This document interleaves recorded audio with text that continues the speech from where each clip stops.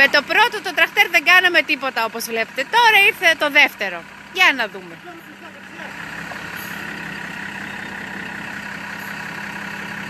Τρακτέρ προσπαθεί να βγάλει από τη λάσπη φορτηγό μεγάλαδρο, όμω δεν υπάρχει και ο άτυχος κτηνοτρόφος. Κύριος Νίκος Πέγκας επιστρατεύει ό,τι μέσο μπορεί για να κάνει τη δουλειά του.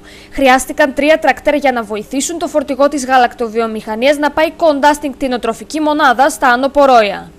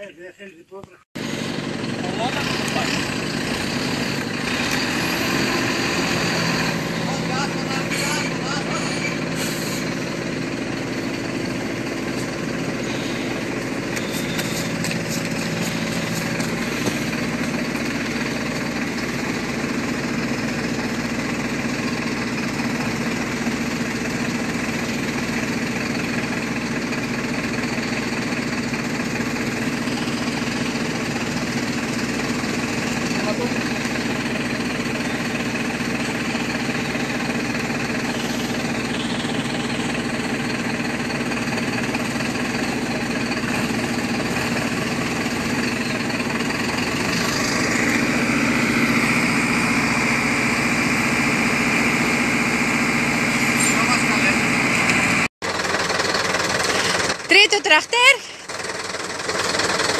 Εν μέσω κορονοϊού μόνο ένα φορτηγό έρχεται για να πάρει το γάλα από τον κτηνοτρόφο, αλλά επειδή δεν μπορεί να φτάσει στη μονάδα, ο κύριος Νίκος Πέγκας αναγκάζεται να φορτωθεί ο ίδιος και να διανύσει απόσταση περίπου 500 μέτρων. Από τις 10 Ιανουαρίου έχουμε κάνει ένα, μια αίτηση στο Δήμο. Μας υποσχέθηκαν ότι θα φτιάξουν τους δρόμους για τα μαντρία. Όλοι οι κτηνοτρόφοι μαζί πήγαμε στο Δημαρχείο. Το οποίο ως αυτή τη μέρα δεν έχει γίνει τίποτα. Σε απόγνωση ο κτηνοτρόφος, αν και ζήτησε τη βοήθεια του Δήμου Συνδική, μας δείχνει πόσο άσχημη είναι η κατάσταση στο δρόμο και όπως λέει, σκέφτεται να κάνει μόνος του δρόμο και να απευθυνθεί σε ιδιώτη. Σκεφτόμαστε να φέρουμε έναν ιδιώτη να δει το δρόμο, όπως φέραμε να δει το δρόμο να μας βγάλει ένα κοστολόγιο να δούμε πόσο βγαίνει και αναλόγως στο τέτοιο να κάνουμε μόνοι μα το δρόμο. Η πανδημία πόσο έχει επηρεάσει τη δουλειά σας; Η πανδημία έχει επηρεάσει πολύ τη δουλειά.